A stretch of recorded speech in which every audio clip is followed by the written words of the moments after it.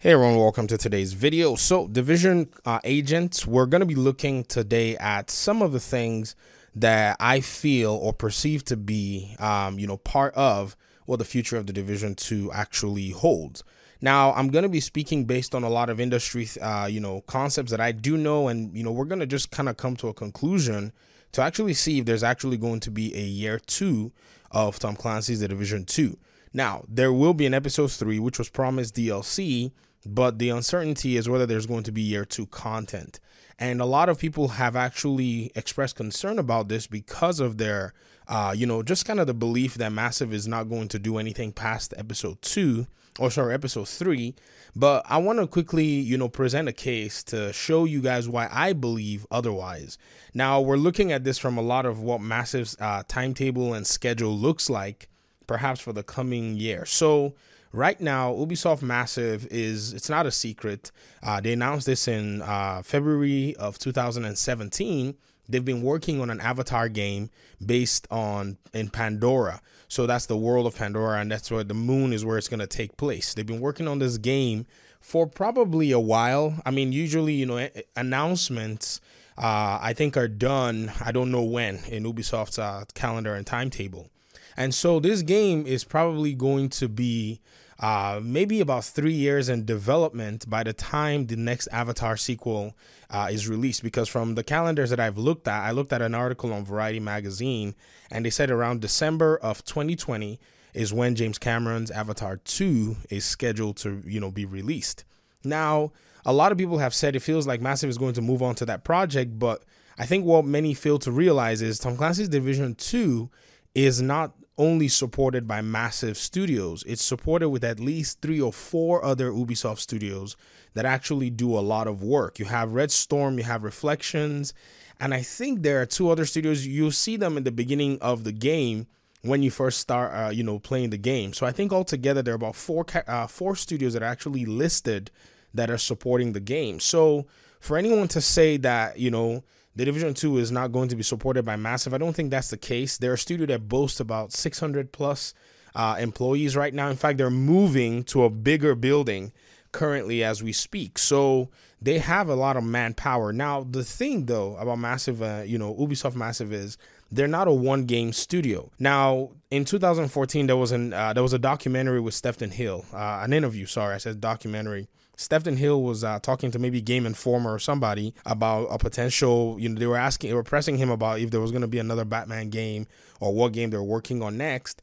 And he said, you know, Rocksteady Limited was a one game studio. So they sit on one concept till it's complete before they move on to something else. Ubisoft Massive is not like that. They've shown that they're capable of supporting multiple games or supporting one while developing another and at the same time supporting, you know, two games ongoing. And I think for them, if they were already kind of conceptualizing Avatar while developing Division 2, while supporting the Division 1, because Division 1 was still in support at the time they announced the Avatar project, and Tom Clancy's Division 2 was in development at the time of that uh, you know announcement. I think they have enough of the manpower and a lot of you know sister studios to work on the game with them.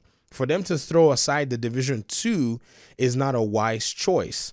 And the reason I say that is because, for the purposes of marketing and for the purpose of community building, I feel like at least, at minimum, a year two is something that they probably will have to, you know, put in place so that they can keep the Division Two ongoing till the Division One, sadly, will have to maybe shut down its end of life. So a lot of the things that makes the Division One, you know, very solid, I think at the tail end of the Division Two, they'll probably bring those things in to allow for replayability if they want to actually get their community to naturally shift into this avatar game.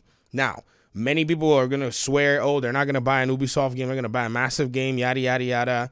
This video is not for that, by the way. Just help me out and let's look at what the timeline looks like. And then we can complain on another video in a different day, if you get what I mean.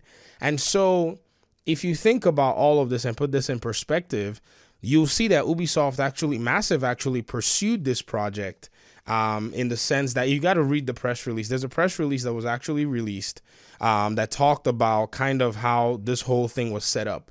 Massive is spearheading the project. They're partnering with um, Fox Interactive and I think another studio, and they actually created a concept that they went ahead and pitched to you know the 20th Century Fox people, to people who call the shots. I don't know if it's 20th Century Fox, but whoever calls the shots, which I, I believe James Cameron was probably a you know among, because he stated that he saw that prototype and he thought that that was actually you know very good.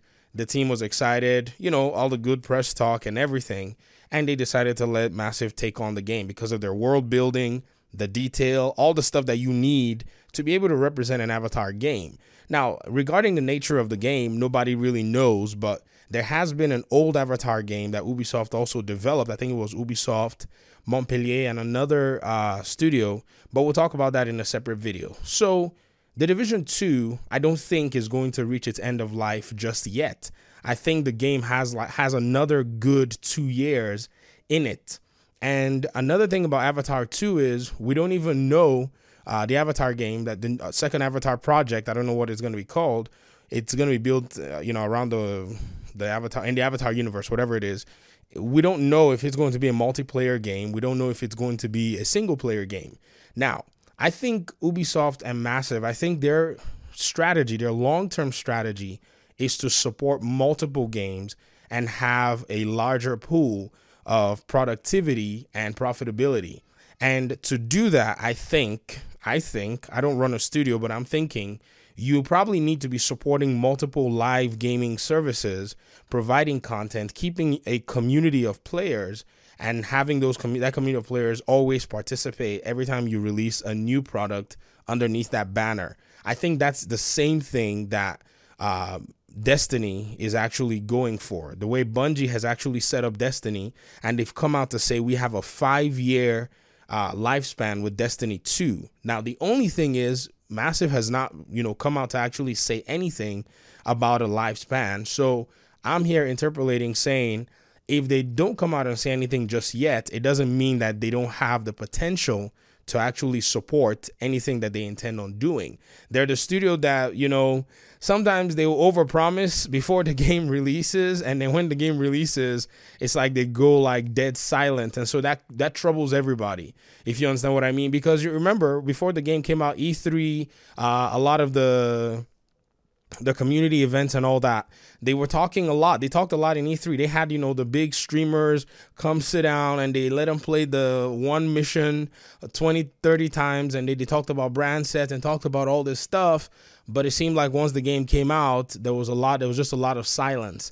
And that's usually their uh their the way they roll. I think the community has hammered down on them many times to actually have them be a lot more open and uh, you open more lines of communication with the community.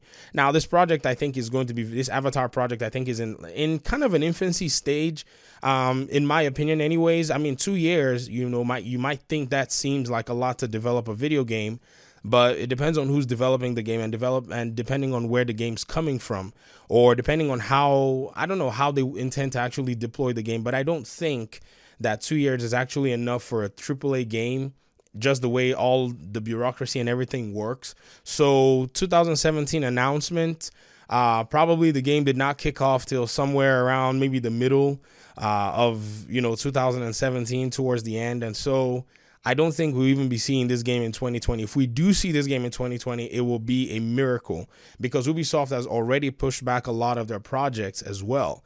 And on the long run, I think what Ubisoft's overall strategy is is because of the financial hit that they've taken this year because they released, you know, Ghost Recon Breakpoint not in a healthy stage and the Division 2 did not do well. Because of all those you know those the the sales numbers and because of the public perception that they have which is not the greatest right now i think they really understand that they have to go back and dig in and get their grassroots ideology of gaming back in place. And if they want to do that their most recent products which are the division 2 and Ghost Recon Breakpoint in terms of continuous games, you know, multiplayer, ongoing games, those two games have to be restored to full health for their communities to actually be able to give them goodwill. It is on that goodwill that they're going to stamp their name on another project to be able to get full sales capacity. If they throw away these two communities, I don't I don't see how they they're going to be able to uh, survive whatever the PR hit will be. They don't need any negative PR right now. So I think that's pretty much why they're taking their time to be communicative uh, and all. But I think in, in their case, in the case of Massive, they they have not necessarily done too much uh, of a of a structured communication for the the community. Whereas on if you look at Ghost Recon Breakpoint, they actually listed out the things that they wanted to do with that game. Whereas in Tom Clancy's The Division 2, we haven't heard anything. Now, that doesn't mean they're not doing anything. I mean, they have alluded to some things that they're working on, but we just have not seen kind of a list, be it vague or detailed, on how they intend to go about these things. So, you put all this in perspective, you take your time and you look at what is this, what the studio is capable of, who is helping this studio. You have Red Storm, who's I think working on PvP heavily. Many people, you know, may say Red Storm seems to have taken a hiatus. I don't think that's the case. I think Red Storm is going to come out and work uh, and work their magic, or maybe they're even working on episode three because uh, Terry was the one who announced episode three, so uh, they might have a hand in its development. I mean, and it doesn't seem like it's going to be too big. Coney Island's actually kind of a small place, but after episode three, I think they might be bringing their roadmap to place. If they don't bring a roadmap, then you know we know that we don't have any year two content, and so I think everybody can just disperse and go their own way. But I don't think Ubisoft Massive needs that kind of publicity right now. I think what they need is to just you know bring out a timetable and say this is where we're going and this is where we're going to be by this time and make sure that they actually stick to it. That's another thing. A lot of delays is another thing that doesn't work in their favor and they need to ensure that they stick with their timetable and go with it so that this next Avatar game many people might say, "Oh, nobody wants the Avatar game," but trust me, when you see a game that the Snow engine can bring to life, it usually changes a lot of perceptions. That engine is a pretty engine. It's just so in my opinion one of the most beautiful game engines that is in existence right now. I don't think there's any uh, game engine that does world detail building like the Snowdrop engine. It's currently in use among a lot of Ubisoft studios for a lot of unannounced projects. They haven't said anything about what this is being used for, but I think it's going to develop and bring uh, a good job. The only difficulty is if you bring like an online multiplayer game with it, it just feels like there are a lot of issues that actually go into um, the fidelity of whatever aspect of the engine you know brings that multiplayer to life i think that's the part that needs to be stitched up properly and work very well. But if they were just developing single player experiences with it i think it will have a lot more you know it'll have more of a great reputation. But software development is a pain. Everybody that is into software development or even people who are running software on their computers you know how challenging that can be by itself.